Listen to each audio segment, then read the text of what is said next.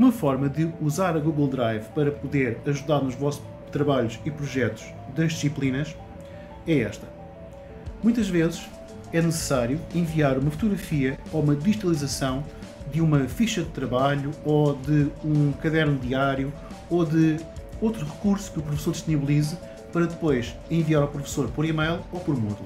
Muitas vezes uma foto não é suficiente porque fica desfocada ou apanha mais do que o que é necessário enviar ao professor. Se usarmos a Google Drive, temos uma opção chamada Digitalizar, que nos permite fazer scans de documentos, folhas, páginas de livros, etc.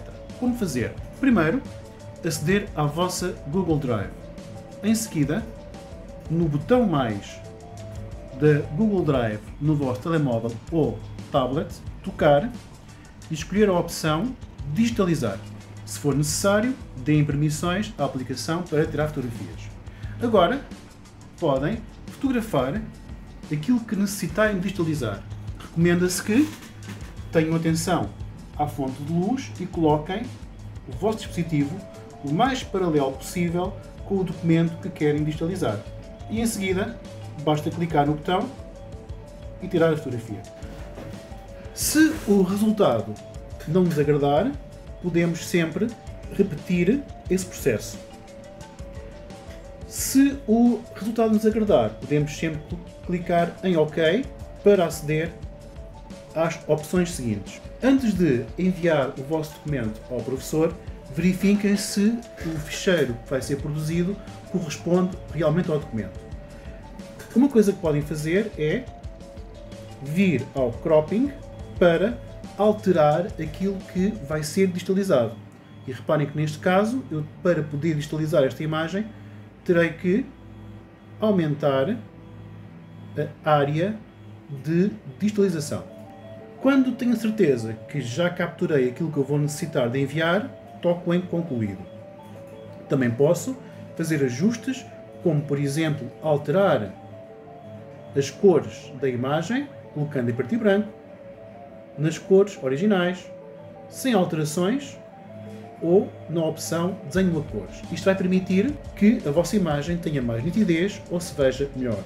Também podem, na opção rodar, alterar a orientação da vossa digitalização. Quando considerarem que está tudo pronto para enviar, toquem em guardar e em seguida abre-se uma caixa de diálogo da Google Drive onde podem guardar nas vossas pastas da Drive. Certifiquem-se que têm o vosso ficheiro bem identificado, que estão a partilhar com a conta correta, se tiverem mais do que uma conta no vosso dispositivo. Em seguida, toquem em Fim e em Guardar e é gerado um ficheiro PDF que está na vossa Drive, que pode ser descarregado para o vosso computador, pode ser enviado por e-mail ao vosso professor, pode ser partilhado com o vosso professor e pode também ser submetido no Moodle.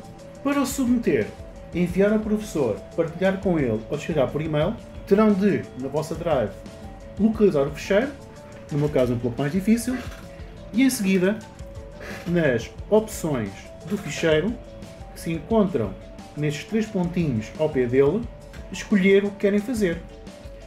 Se, por exemplo, quiserem enviar o ficheiro ao vosso professor, toquem na opção Partilhar e podem enviar diretamente o vosso trabalho ao professor.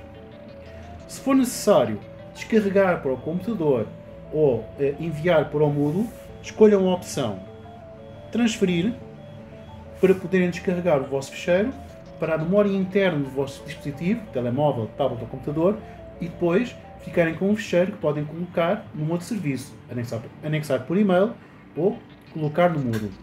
Na opção partilhar, se tocarmos, podemos imediatamente partilhar o nosso ficheiro com qualquer professor da nossa escola. Basta saber o e-mail desse docente. Selecionar esse e-mail, definir se queremos que o docente edite o nosso documento, leia o nosso documento ou comente o documento e, finalmente, por cortesia, colocar uma pequena mensagem antes de enviar. Enviar é muito fácil, basta clicar na setinha para envio e este ficheiro é imediatamente partilhado com quem vocês entenderem, com os vossos professores ou com os vossos colegas.